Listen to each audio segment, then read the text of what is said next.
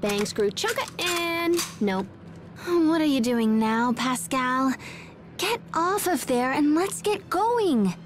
But if I can't fix this, how will we get back up? It worked enough to get us down here. Yeah, but the parts are worn out. It won't be able to take anything too heavy back up. Too heavy. Do you mean me? What's wrong, Cheria? It's because of that sweet potato I ate after dinner last night. I heard sweets don't count if they come from plants, but. I'm such a fool. Uh, Cheria? Forgive me. This is all my fault.